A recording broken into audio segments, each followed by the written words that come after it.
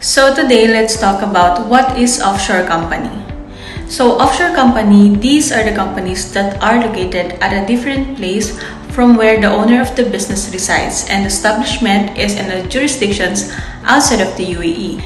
In simple terms, this means that the company is located in an international location with different rules and regulations in conducting a business. So what are the advantages of setting up an offshore company here in Dubai? First, it offers easy company incorporation. Second one, 100% return on investment and profits.